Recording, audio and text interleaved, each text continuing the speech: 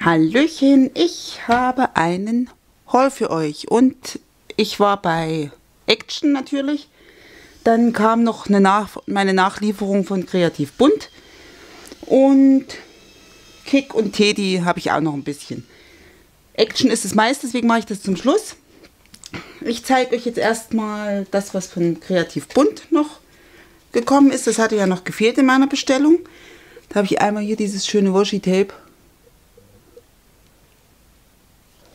Das ist von Prima Marketing, hat gekostet 11,95. Ja. Ich wollte eigentlich kein Washi-Tape kaufen mehr, weil Washi-Tape habe ich so viel.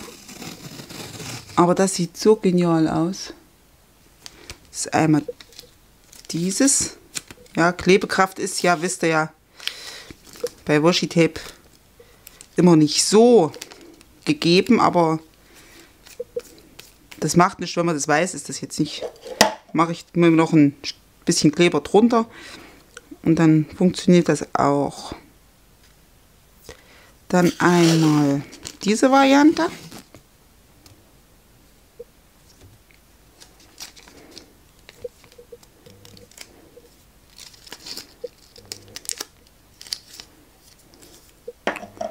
Das Ganze nochmal in schwarz. Schwarz geht immer. Gibt es meiner Meinung nach viel zu selten. Ob Bänder oder Steinchen oder... Ja, sehr cool.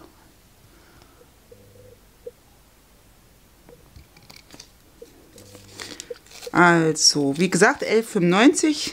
Das hat mir richtig gut gefallen. Dann habe ich mir noch äh, hier von Photoplay Sentiment Strips gekauft. Und zwar ist das, wenn man jetzt Sprüche hat, kann man sich das ausstanzen. Ich habe eigentlich gedacht, die sind ein bisschen größer. Auf den meisten Bastelseiten ist es ja ein bisschen, ja, ein bisschen undeutlich beschrieben oder es steht gar nicht da oder ich lese es nicht. Je nachdem. Auf jeden Fall sind die so, die könnte man sich auseinander machen, werde ich aber wahrscheinlich nicht machen und stanzen dann hier solche Streifchen aus in verschiedenen Größen. So ein paar Stempelsets habe ich, wo das drauf passt. Ich werde noch mal gucken, ob ich das vielleicht noch mal ein bisschen größer finde. Diese haben gekostet 8,95 und dann kam dieser Stempel noch, das Hibiskus heißt der, der hat 4,95 gekostet. Das ist ein Gummistempel. Ja, und den finde ich richtig schön. Kann man vielleicht auch ohne diesen Hintergrund nehmen, dass man sich das ausschneidet und nur die Blüte verwendet. Das. Dann habe ich bei Nanunana hier dieses Sticker-Set gefunden, hat gekostet 1,95, sind 10 Blatt drin. Da gibt es jetzt gerade, also habe ich jetzt das erste Mal gesehen, alles für so Bullet Journaling. Also das ist, sind so ganz verschiedene Zahlen.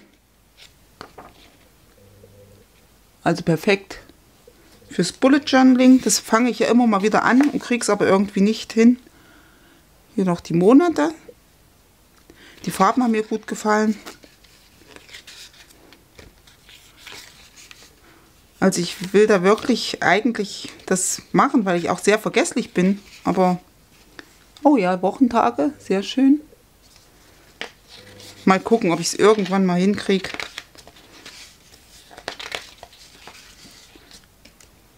Dann hier noch so einzelne Streifen. Ja, also für 1,95 finde ich okay. Fällt mir gut. Das hier kann man natürlich dann auch noch anderweitig verwenden. So, dann war ich im Teddy. Und da gibt es ja im Moment so viele schöne Sticker und ja, überhaupt viel Kram. Da habe ich mir einmal dieses Sticker-Set gekauft. Die sind so niedlich. Und einmal dieses hier hatte ich jetzt schon ein paar verwendet. Da mache ich nämlich gerade ein paar Karten. Das zeige ich euch dann in einem separaten Video, weil ich einfach ja, ein paar Sticker mal verwenden will einmal diese, die haben auch 1 Euro gekostet. Da war noch so ein großer Flamingo drauf. Und so ein kleiner Kuchenkaktus, sage ich mal. Aber das seht ihr dann in meinem Video, wo ich die Karten bastel. Dann gab es noch hier dieses für 2 Euro. Das ist so, ja, wie so Rasenmatten. Habe ich gedacht, vielleicht als Cover von einem Album. Wenn man jetzt wieder nochmal so ein Fußballmäßiges macht oder Gartenthema mit Blümchen. Mal schauen. Das sind zwei Stück. 6 mal 6 würde ich jetzt schätzen. Ja, für 2 Euro. Dann gibt es hier solche Puffy-Sticker. Die fand ich ja so niedlich. Also ganz verschiedene Sachen. 1,50 Euro haben die gekostet.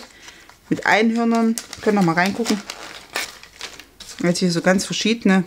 Cupcake, Wölkchen, Regenbogen, Geschenk. Ja. Einhornlastig. Sehr niedlich. So, dann nochmal diese Variante. Es sind auch 24 Stück drin. Das sind jetzt mehr so Tiere, auch so ein bisschen, ja, babymäßig. Ein bisschen Obst. Und verschiedene Tiere halt. Das. Mit Stickern haben die jetzt gerade so coole Alphabet-Sticker. Da konnte ich nicht dran vorbeigehen. Da habe ich mir einmal diese Buchstaben und diese Zahlen mitgenommen. Schwarz-Weiß, natürlich, geht immer. Dann einmal hier in so Regenbogenoptik, die fand ich auch sehr cool. Die haben jeweils 1 Euro gekostet, 34 Stück sind da jeweils drin. Dann Buchstaben und Zahlen in dieser Variante. Auch die Farbkombi finde ich richtig schön. Hier so Aprikot, Gold, Schwarz, Türkis, Grün oder was das ist. Richtig cool. Und die Zahlen habe ich mir zweimal mitgenommen. Das. Und was ich auch beim Teddy viel besser finde als beim Action, die Blumen. Guckt euch die Blumen mal an. Die sind so schön, die sehen aus wie die von Prima Marketing, die wirklich teuer sind. Schöne Farben, finde ich, also pastellig. Und ja, die sehen jetzt nicht so schranzig aus, sag ich mal. Beim, ich habe auch Blumen vom Action, aber die sind immer sehr hoch, die kann man schlecht auf Alben verwenden. Und die sind mega genial. 1,50 Euro, 6 Stück. Und dann hier diese noch. Also wie gesagt, die sehen sehr nach prima Marketing aus. 1,50 Euro, 25 Stück. Die kann man sich ja zur Not noch einfärben. Also diese Blumentee, bitte mehr davon. Finde ich richtig cool. Ich kann ja mal zum Vergleich, ich hole mal welche von Prima Marketing. So, mal zum Vergleich, das sind die teuren. Ja, es ist immer noch ein kleiner Unterschied auf jeden Fall zu erkennen. Aber kein großer. Also kommt die schon da in die Richtung mit. Ich glaube aber hier die kosten, ist kein Preis dran, sechs Stück, glaube ich 4 Euro oder so. Also es ist schon ein Unterschied. Nur mal zum Vergleich. Dann war ich ja, wie gesagt, noch im Kick. Da habe ich einmal hier diese Herzchen mitgenommen. Beim Kick sind auch immer so wie bei, wie bei Action. Da gefallen mir die Farben meistens nicht, weil es wirklich so quiek-pink ist. So, ja, in Anführungsstrichen billig-pink. Keine Ahnung, wie ich das sagen soll. Auf jeden Fall ist es nicht so meins. Deswegen nehme ich mir meistens hier solche ja, normalen Farben mit. Die kann man sich ja zur Not dann noch einfärben mit Alkoholmarkern oder so. Dann dieses Washi-Tape.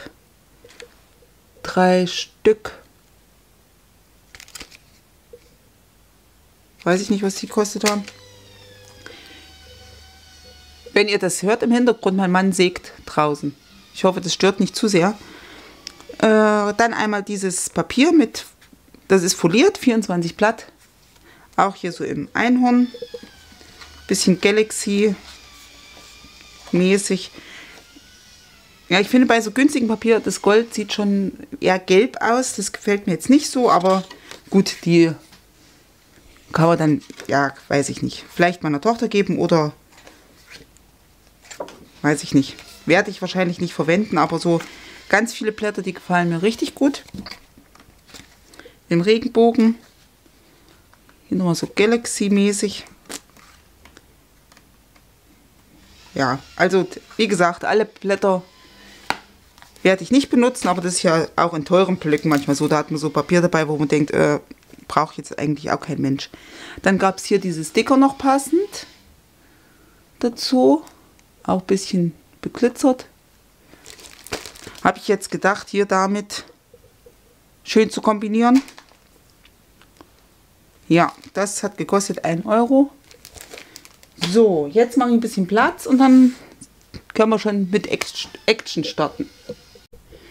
So, einmal hatte ich noch vergessen, für 4 Euro aus dem Teddy hier dieses Einhorn-Washi. Also, ihr seht schon, auf jeden Fall wird es ein Einhorn-Mini-Album geben. Das noch. So, jetzt fangen wir an bei Action. Die habe ich immer in meinem Bastelzimmer. Eins nehme ich mit an der Arbeit, eins für hier, dass man einfach mal schnell über die Oberflächen wischen kann. Preise habe ich leider nicht, weil Kassenzettel habe ich nicht mehr. Das ist schon ja, über mehrere Male gesammelt.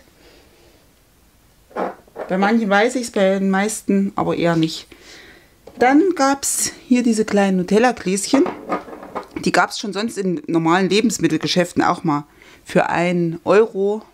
Also in den normalen Geschäften, sag ich mal.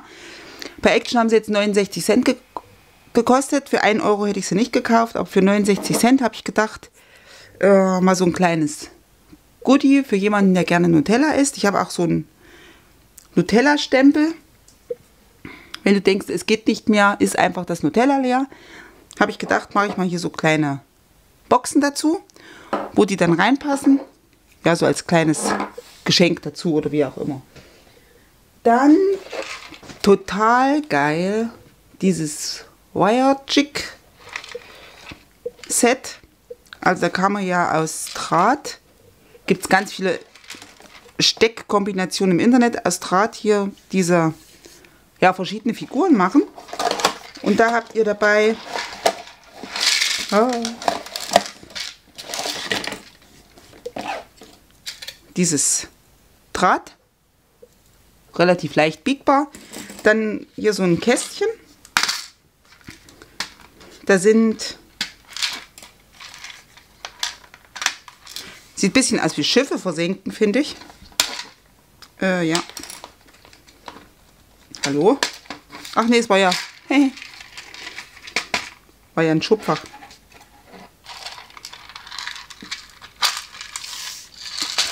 Habt ihr dieses Kästchen mit verschiedenen Zahlen und Buchstaben. Und dann in dem Heftchen sind dann so verschiedene Kombinationen drin, wie ihr die stecken müsst, welche Größe. Also ganz kleine, mittlere und ganz große, wie ihr die stecken müsst und wie ihr dann das Draht hier drum wickeln müsst, um diese Form zu kriegen. Aber wie gesagt, da gibt es noch eine Million Sachen im Internet für dieses originale das ist hier nur das Tube dazu. Aber ich glaube, das hat 3 oder 4 Euro gekostet. Das soll mir erstmal ausreichen. Da habe ich schon immer bei dem Originalen geliebäugelt. Aber das kostet, glaube ich, 20 Euro oder so, wo ich denke, oh, oh, nimmst es dann so oft. Und ich denke mal, das ist auf jeden Fall eine gute Alternative. Hier ist noch so eine Zange dabei. Das Draht und hier dieses Teil an sich. Ja, fand ich sehr, sehr cool habe ich mich jetzt auch noch nicht weiter damit beschäftigt. Mal wieder Perlen. Da nehme ich mir ja immer mal, wenn es was gibt, was mir jetzt gefällt, was mit. Ich glaube 80 Cent oder ja, wie, ich weiß die Preise nicht. Auf jeden Fall unter einem Euro. Diese beiden haben mir gefallen, die habe ich mitgenommen. Dann habe ich mir dieses Monsterer-Blatt mitgenommen. Das habe ich schon öfters mal gesehen und habe gedacht, nee, brauchst du nicht. Aber eigentlich ist es sehr cool ausgestanzt, sieht es auch richtig geil aus. Habe ich mir dieses Mal mitgenommen. Dann hier habe ich schon aus der Verpackung rausgeholt, diese ja, Perlensticker. Wie gesagt, wenn ich was Schwarzes sehe, nehme ich sowieso immer mit. Einfach weil ich, weil es es immer nicht so oft gibt. Dann einmal für unsere Gartenlaternen, hier solche Dochter, also hier so für so Öllaternen. Dann ja, diese Actionblumen finde ich in den Farben auch sehr schön, aber wie gesagt, die sind immer sehr hoch. Die kann man so oft nicht verwenden, aber die Farbe hat mir gut gefallen. Und so fürs Cover oder so kann man die ja auf jeden Fall verwenden. Und dann habe ich noch hier diese Varianten. Hier habe ich schon was benutzt. 15 Stück sind da immer drauf. Wie viele Farben es da gibt, weiß ich nicht. Also ich kaufe wirklich nur das, wo ich denke, ich nehme es auch. Also ich werde da jetzt nicht alle Sorten, die es gibt, mitnehmen. Nur um das hier zu zeigen. Und dann liegt es hier bei mir rum. Da habe ich jetzt auch nichts davon. Dann nochmal solche Sticker. Schwarz und Silber. Dann habe ich noch einmal hier dieses Draht gefunden. Dachte ich hier für dieses Maschinchen. Kann man das bestimmt gut nutzen. Gab es jetzt nur Gold noch und Silber. Wollte ich jetzt nicht haben, deswegen habe ich mir nur das Schwarz mitgenommen. Dann richtig cool, das ist bei uns in der Geschenkeabteilung, also Geschenkpapier und so. Hier dieses, ja, wie so eine Art Washi-Tape aber eben ein bisschen breiter. Klebekraft ist ähnlich wie bei Washi Tape, also Gen 0. Aber fand ich sehr cool. Dann hier in so Holo-Optik habe ich mir das noch mitgenommen. Und in Gold. Ja, gut. Das kann man, weiß ich nicht. Das ist jetzt nicht so mein Gold. Das ist mir zu gelbstichig. Aber für Geschenk wenn man weißes Geschenkpapier und das so drüber, denke ich mal, das sieht schon sehr cool aus. So, diese drei, also das war für mich neu. Auch neu für mich war dieses Gewebeband. Das war bei den Baumarktartikeln. Also das ist wie Buchbinderlein. Natürlich viel, viel dünner und schlapperiger. Klebekraft ist auch ja, semi-gut, würde ich mal sagen. Also wenn ich, aber wenn man das für ein Album nimmt, um die, die Coverseiten zu verbinden, ist das schon sehr genial. Da würde ich auf jeden Fall äh, noch Kleber auftragen, dass das auch hält. Aber weil das wie Stoff ist, da reißt da nichts ein und das Buch ist extrem flexibel dadurch. Habe ich jetzt in weiß und schwarz. Ich glaube, es gab noch hier so Camouflage. Aber das sind die beiden Farben, die ich eh am meisten verwende. Diese beiden. Und dann gab es dasselbe in der Bastelabteilung nochmal in so schmal. Also es waren immer Zweierpacks. Ich habe es jetzt leider schon ausgepackt. So waren die. Klebekraft ist von A. -Punkt. Das hatte ich aber schon vermutet. Also ja, ihr seht es schon. Also Preis kann man damit nicht gewinnen hier.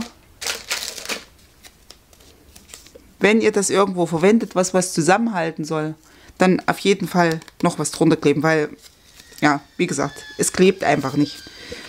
Aber okay, wenn man das weiß, finde ich das nicht so schlimm. Für den Preis kann man sowieso nicht sagen, denke ich. Und deshalb habe ich mir diese nochmal mitgenommen. Bei uns im Action ist es ja immer mit neuen Sachen nicht so weit her. Aber das war für mich neu. Da fand ich das hier mit der Mauer ganz cool. Und das ist wie so ein, ja, wie so ein Netz, würde ich sagen. Fand ich cool, habe ich mitgenommen. Dann hier diese Stempel, habe ich gesagt, brauchst du das wirklich? Und dann habe ich auch gedacht, irgendwie hier dieses lange Cocktailglas finde ich doch ziemlich cool ja, nimmst es einfach mal mit. Mal sehen. Dann hier diese Blumen, fand ich schön. Schön zum Ausschneiden, relativ einfach.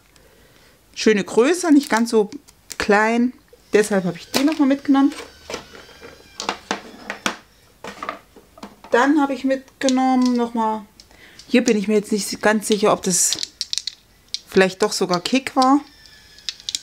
Wie gesagt, bin ich mir nicht ganz so sicher. Auf jeden Fall diese drei Glitter. Vier, vier heißt die Zahl. Solcher, ja, Glitter-Hexagons. Ich will mir ja mal so eine Mischung machen mit verschiedenen Größen für Shakerkarten oder so. Da will ich mir schon vorher so ja, eine Mischung zusammenstellen in einem Fläschchen oder Gefäß, damit es gleich fertig ist für Shakerkarten oder was auch immer. So, das.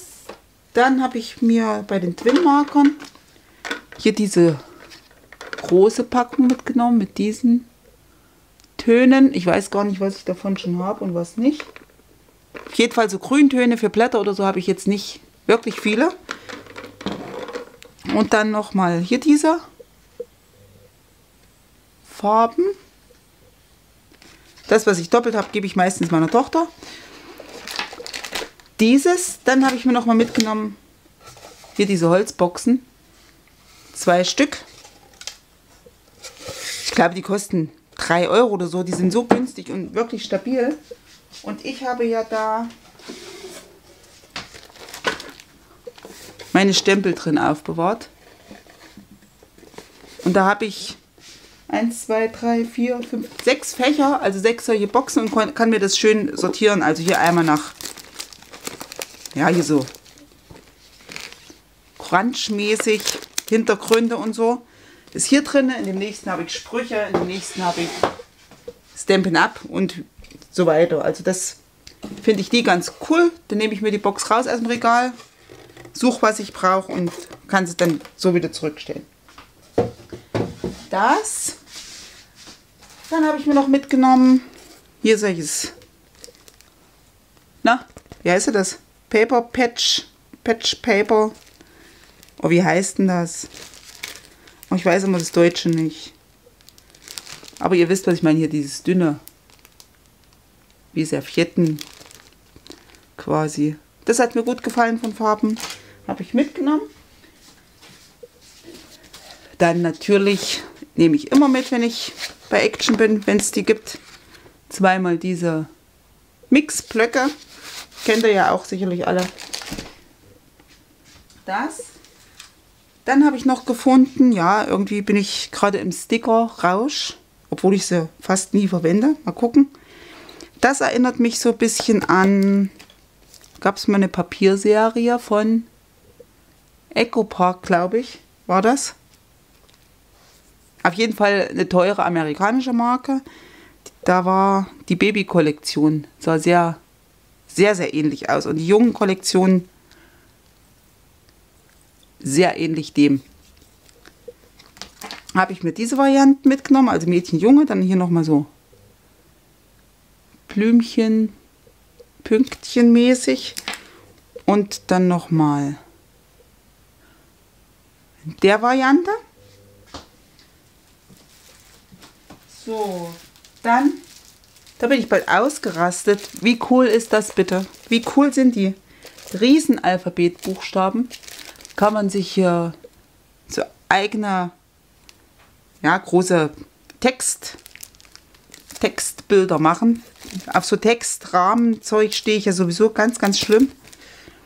Gibt es in diesen Varianten. Ich habe es mir jetzt nur in schwarz mitgenommen, weil bunt möchte ich in meinem, meiner Deko so eher nicht haben. Also diese Varianten. Dann steht hier nochmal drauf, wie viele davon drin sind jeweils. Also auch Sonderzeichen, zweimal Fragezeichen, zweimal Ausrufezeichen, viermal Komma. Sehr, sehr cool. Habe ich mir dreimal mitgenommen, weil, wie gesagt, finde ich obergeil. Dann habe ich mir noch, die sind auch für mich neu, diese Embossed Sticker mitgenommen. Hier, das fand ich ganz gut für so ein Galaxy-Album. Werde ich ja noch mal welche machen, weil ich da noch das Papier übrig habe. Also ich finde die immer so schön. Und dann nehme ich sie immer nicht. Das tut mir dann immer ein bisschen leid, weil ich sie wirklich schön finde. So, dann hier. Mehr so Home Deko, Katzen, stilmäßig. Aber so schöne Farben, also wirklich genial. Nicht so quietschig, nicht so grell, wirklich mal jedes Grün, mal was ganz anderes, finde ich. Dann hier das mit den süßen Tierchen. Das ist jetzt schon fast so ein bisschen herbstmäßig. Aber genau solche Herbstfarben mag ich nicht. So quietsch-orange und grün. Das sind nicht so meine Herbstfarben. Also das finde ich richtig niedlich. Hier. Was hat sie denn? Ist das niedlich? Und hier, der ist ein bisschen, weiß ich nicht, ob der gefährlich ist oder nur so lieb tut. Ich weiß es nicht. Auf jeden Fall finde ich den ein bisschen gruselig. Das hier ist auch ein bisschen, das hat irgendwie bisschen unförmig, würde ich sagen, aber das gibt es hier nun mal auch. Dann hier diese Variante noch. Absolut cool finde ich die Farben. Mega genial. Das. Und dann nochmal diese Variante. Fand ich sehr cool für Halloween, hätte ich jetzt gedacht. So ein bisschen orange, schwarz und so, ja, wie gezeichnet. So manche, finde ich richtig cool.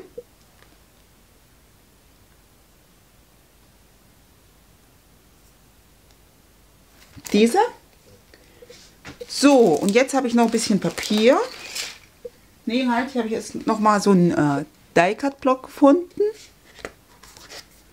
Die gab es ja bei uns so gar nicht.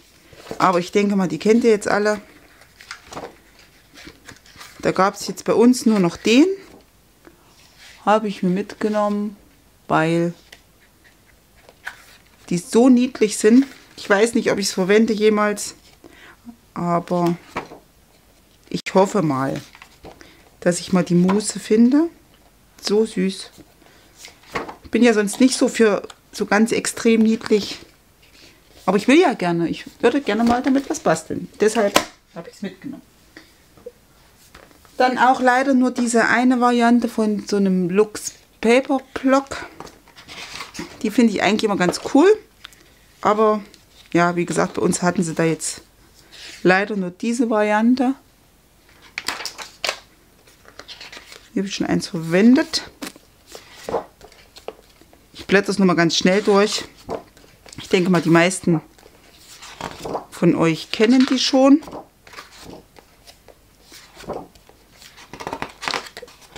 Ja, und dann wieder ganz viele von diesen Rausdrückdingern, wo ich schon manchmal denke, es ist fast zu viel. Es ist schön, wenn man so Deko dabei hat. Das finde ich äh, sehr cool. Aber ja, vielleicht sollte man dann doch ein Blatt Papier mehr oder so. Wäre vielleicht jetzt auch nicht so verkehrt, denke ich. Diesen.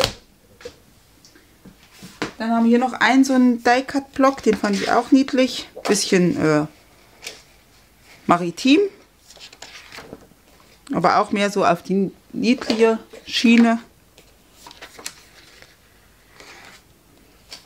Mal gucken für so ein für ein Kind Album oder Karten oder zum Verzieren von der Box hier. Ach, das hieß niedlich. Maritim ist eigentlich auch nicht so meins. Aber hier die Farben, die sind okay. Weiß ich nicht warum. Es ist einfach manchmal, wo man sagt, okay, das geht gar nicht oder kann man nehmen. Ja, niedlich. Hier das Indianerhäschen. Weiß ich jetzt nicht. Eigentlich ist alles maritim. Jetzt ist hier Indianer dabei. Hm. Ja, okay.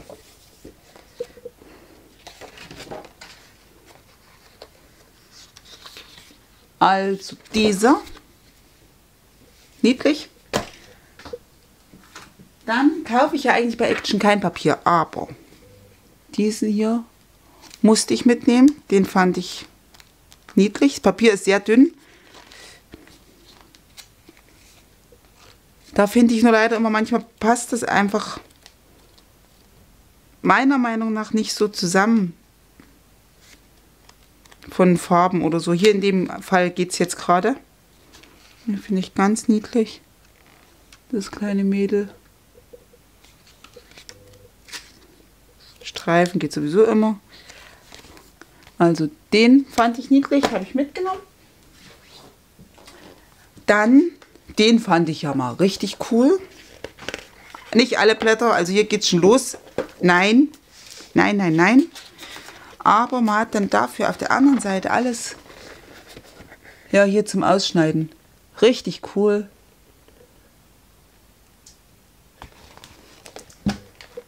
Dann schwarz-weiß, gestreift, so ganz dünn gestreift, geht immer.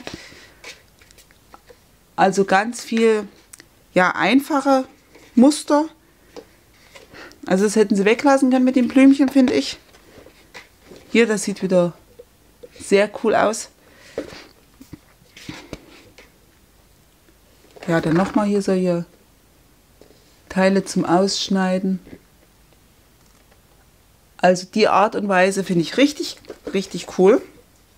Das Papier finde ich auch sehr schön. Das geht auch noch. Aber dann wird es wieder komisch. Da machen sie wieder sowas dazwischen, wo ich denke,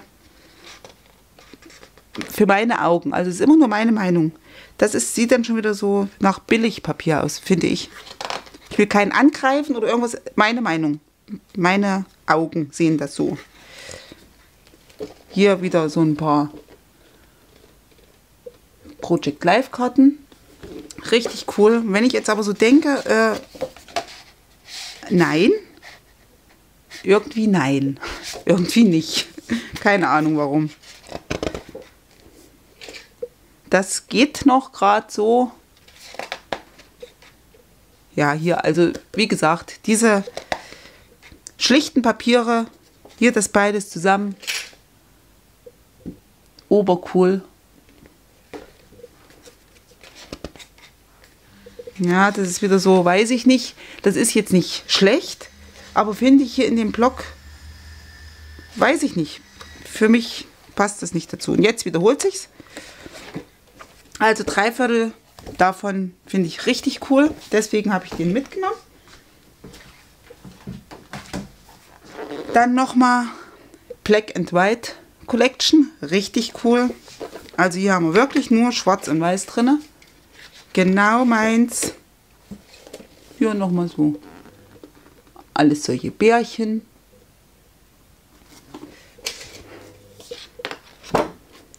Also verschiedene Themen. Hier passt, das passt jetzt auch insgesamt nicht so zusammen, aber die einzelnen Papiere hier so maritim. Ja, dann hier so ein bisschen Safari, aber eben in schwarz-weiß.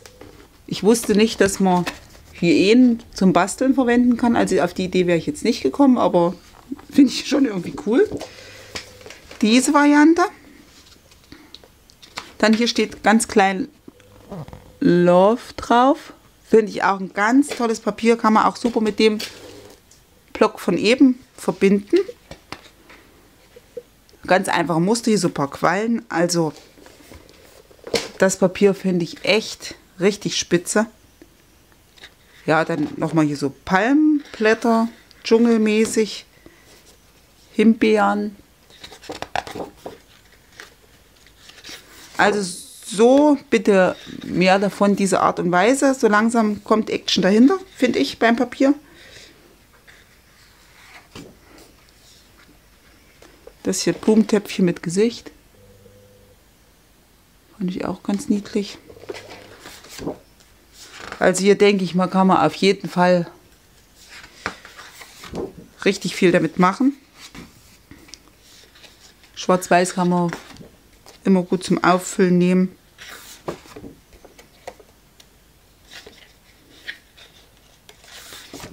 Nochmal so eine Marmoroptik.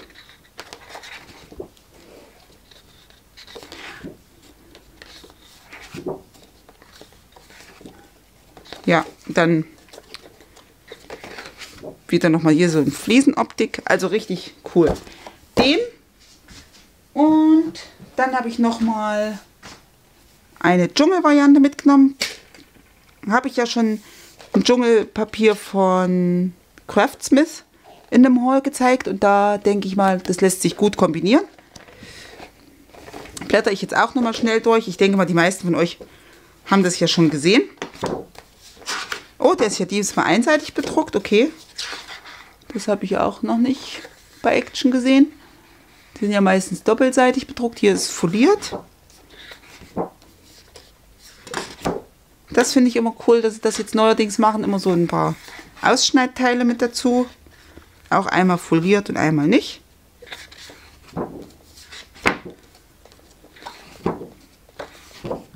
Viele schlichte Muster finde ich sehr gut. Dann wieder einmal in Rosé foliert.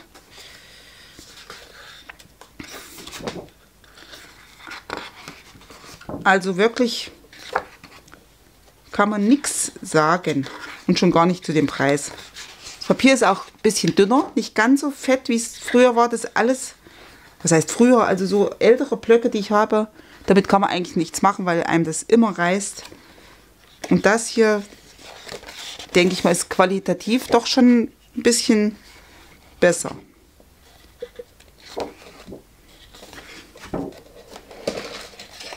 So. Noch einmal hier mit solchen Blättern. Und das war's. Ja, das war mein Haul. Ich hoffe, euch hat das Video gefallen. Es kommt jetzt ganz bald das äh, Tutorial zu diesem Fotofolio. Und lasst mir gerne ein Feedback da. Ja, dann wünsche ich euch ein sonniges Wochenende und bis zum nächsten Mal. Tschüss.